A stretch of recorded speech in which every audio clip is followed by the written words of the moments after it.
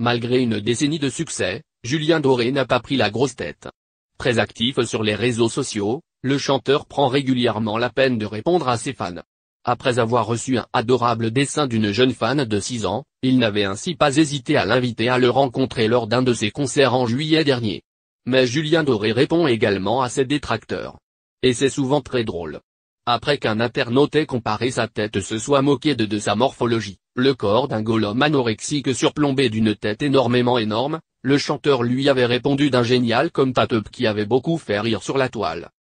Ce week-end, c'est encore sur les réseaux sociaux que Julien Doré a fait parler de lui.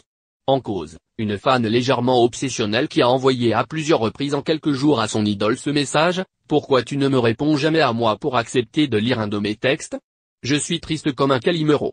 Finalement, la malheureuse a eu droit à une réponse dimanche soir, sans doute pas celle qu'elle espérait, la peur peut-être? Contrairement à d'autres, celle-ci a toutefois de nouveau répondu à Julien Doré, de façon plutôt attendrissante. La peur de quoi?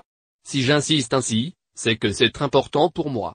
Acceptez de lire un ou deux textes. Et, promis, je ne vous harcèlerai plus.